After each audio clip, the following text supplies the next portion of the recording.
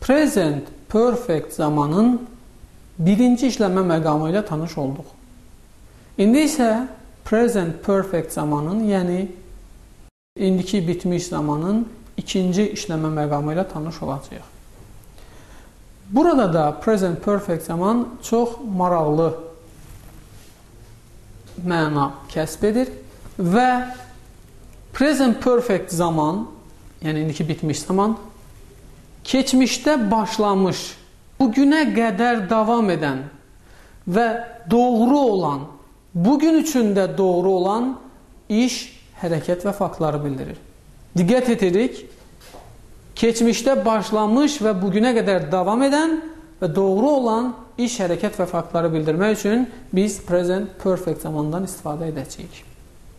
Və bunu biz şəkildə göstərə bilərik daha yaxından, yəni daha dərindən anlamaq üçün. Gördüyümüz kimi hərəkət keçmişdə başlayıb və davam edib və burada zaman oxunda bugünə qədər, yəni indiyə qədər now, indi deməkdir. İndiyə qədər də davam edir və doğrudur. Bu halda keçmişdə başlamış, davam edən və bugünə qədər davam edən, indidə də doğru olan hərəkətləri bildirmək üçün biz məhz present perfect zamandan istifadə edərik. Present perfect zamanı bu cür hərəkətlərdə istifadə edərkən əsas şərt odur ki, həmin hərəkətin davamiyyət müddəti cümlədə göstərilməlidir. Diqqətli oluruq. Keçmişdə başlanmış və bugünə qədər davam edən, bu gün də doğru olan hərəkətləri biz present perfect zamanla deyirik. Və bu halda hərəkətin davamiyyət müddətini göstərmək lazımdır. Hərəkətin davamiyyət müddəti ingilis dilində for və ya since söz önləri vasitəsilə göstərilir. For müddətində, ərzində deməkdir və keçən müddəti göstərir. Yəni hərəkətin başlanğıcından bu günə qədər keçən müddəti göstərir. Since bəri deməkdir və hərəkətin başlanğıc anını, başlanğıc məqamını göstərir. Və cümlədə for və since vasitəsilə biz hərəkətin davamiyyət müddətini göstərə bilərik. Və bu cür hərəkətləri biz məhz present perfect zamanda ifadə edəcəyik. Gəlin for və since söz önlərinin işləndiyi söz birləşmələrinin mənasını və mahiyyətini aydınlaşdıraq. Bunun üçün biz sizin üçün belə bir şəkil, belə bir təsvir vermişik. Burada qeyd etmişik since, bəri deməkdir və hərəkətin başlanğıc anını, başlanğıc məqamını göstərəcəkdir. For isə həmin bu başlanğıc məqamından bugünə qədər keçən müddəti ifadə edəcəkdir. Diqqətli oluruq. Since hərəkətin başlanğıc anının, başlanğıc məqamını bildirir. For isə həmin hərəkətin başlanğıc anından bu günə qədər keçdiyi, baş verdiyi müddəti ifadə edəcəkdir. Gəlin bunu nümunələrlə göstərək. Belə bir ifadəmiz verilmişdir. Since 1995 1995-ci ildən bəri 1995-ci il başlanğıc məqamdır, başlanğıc anıdır və bu andan bəri Keçən müddət isə for 17 years, 17 il ərzində bu isə for vasitəsilə ifadə olunur. Since May, may ayından bəri, for 5 months, 5 ay ərzində, yəni may ayından.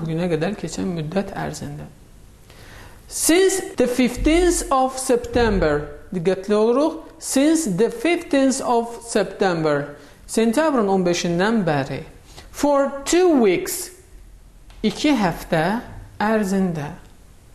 Since 10 o'clock, saat 10-dan bəri. For three hours, 3 saat ərzində.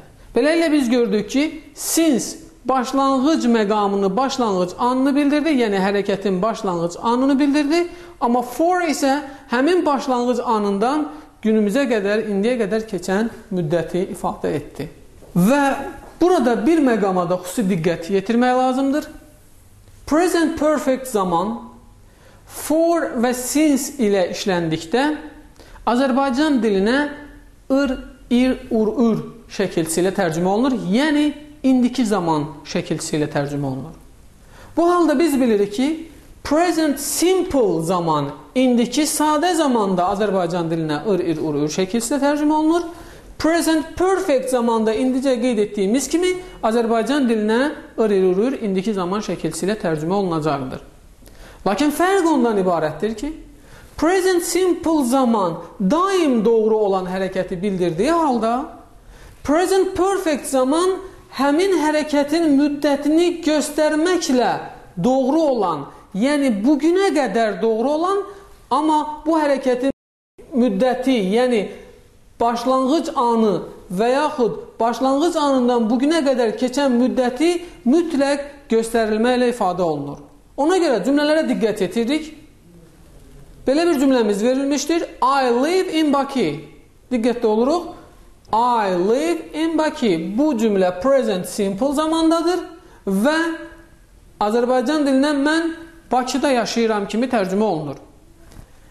Eyni ilə biz bu cümləyə əgər həmin hərəkətin müddətini əlavə etsək, o halda bu cümlə Azərbaycan dilində yenə də ır, ir, ur, ür şəkilçi ilə qurulacaq, amma ingilis dilində növbəti bir zaman ilə ifadə olunacaq ki, bu present perfect zaman olacaqdır.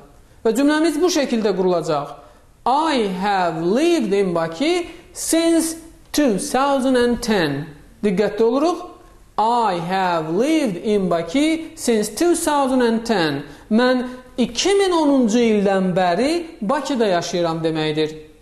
Və yaxud bu ifadəni biz for vasitəsilə də qura bilərik. Yəni başlanğıc anından bu günə qədər keçən müddəti də göstərə bilərik. Bu halda cümləmiz bu şəkildə qurulacaq. I have lived in Bakı for 2 years.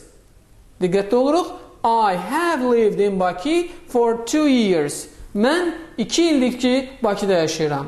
Present perfect zaman since və for ilə qurulan ifadələrlə işləndikdə və bu ifadələrə sual verilmək tələb olunduqda bizim şagirdlərimiz bəzən yanlışlığa yol verirlər. Belə ki, yadda saxlamaq lazımdır ki, since və for ilə qurulan ifadələr İngilis dilində how long, nə qədər müddət sualına cavab verəcəkdir. Diqqətli oluruq.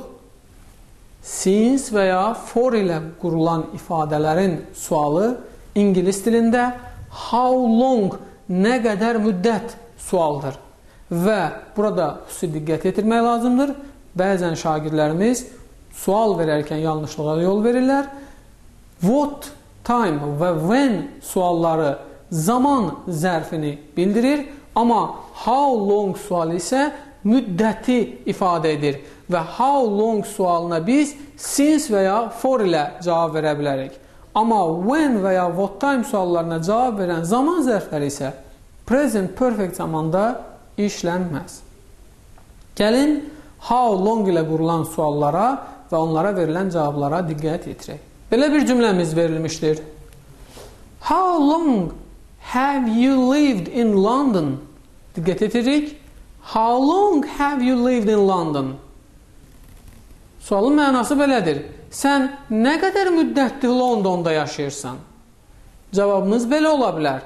Since 2001. 2001-ci ildən bəri.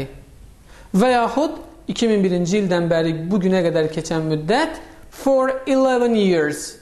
11 il ərzində. Başqa bir misal. How long has she studied English? Diqqətli oluruq. How long has she studied English? O nə qədər müddətdir ingilis dilini öyrənir? Cavabımız belə ola bilər. Since September, sentyabr ayından bəri və yaxud sentyabr ayından bu günə qədər keçən müddət for two months, yəni 2 ay ərzində. Beləliklə, bugün sizinlə biz present perfect zamanın cümlədə işlədilmə qaydaları ilə tanış olduq. Biz present perfect zamanın cümlədə iki işlədilmə məqamının izahatını verdik və present perfect zamanın göstərici zərfləri, eyni zamanda for, since ifadələri və onların cümlədə işlədilməsi ilə bağlı ətraflı məlumat verdik.